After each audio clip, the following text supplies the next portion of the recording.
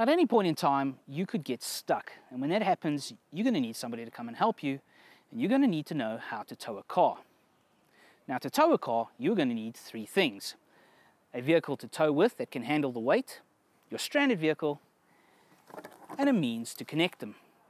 Now, according to the Road Traffic Act, you can use rope, chain, a solid steel bar, or in our case, an elasticated tow strap.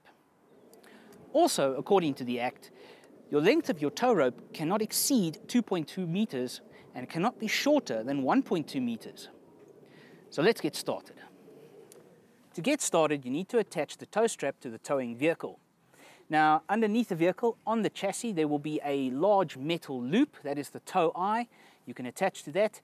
If you can't find one of those and your vehicle is equipped with a tow bar, you can attach to the tow bar, not the tow ball, because any sort of stress could snap this off and you've got a cannonball going through your windscreen. If your tow strap is equipped with a carabiner or a shackle, rather don't attach this to the tow point, but rather create a loop and attach that. Following the same procedure, you want to connect to the car that needs to be towed.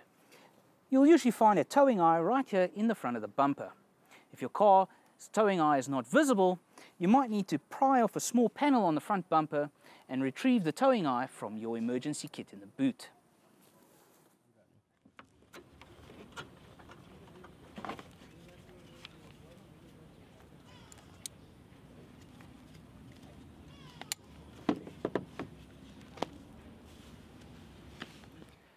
Now that the cars are connected, there's something very important that you have to remember. You cannot tow an automatic vehicle. The reason for this being the driven wheels are still connected to the transmission through the drive shafts. Now you can, but it is not advisable because you cannot go faster than 20 k's an hour and cannot exceed a distance of 8 kilometers. Rather call a rollback.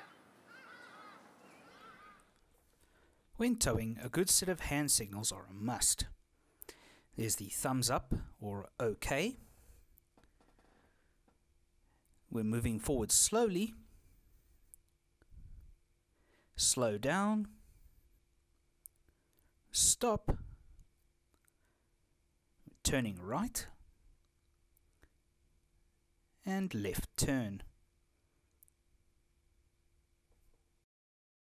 And now that both cars are connected and both drivers are familiar with the hand signals, you can begin to slowly begin to take up the strain on the tow strap.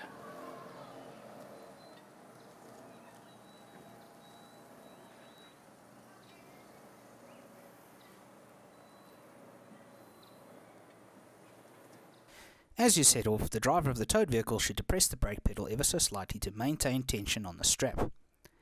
Set off slowly, keep that pace, and save towing.